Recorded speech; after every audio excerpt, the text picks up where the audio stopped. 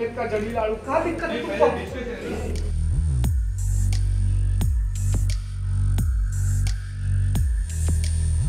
देखिए madam sir आप ही ने कहा था कि बचपन में स्कूल के टाइम में आप काफ़ी दबंग रही थे। आप हमसे भी ज़्यादा अड़ियल रही हैं और आपका काफ़ी भौकाल था तो फिर डर किस बात का?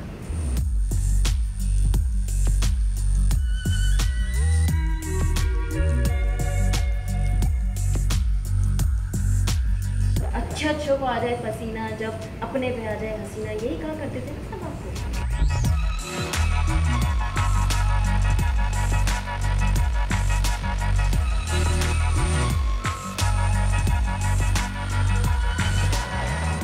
हुआ था कुछ। बचपन में कुछ हुआ था हमारे साथ, जिस बात का डर अब तक हमारे मन में बैठा हुआ है।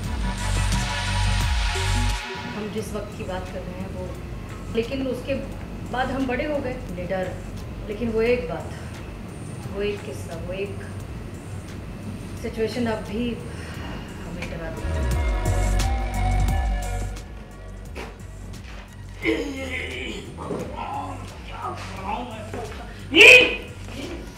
निकल निकल गेट आउट निकल।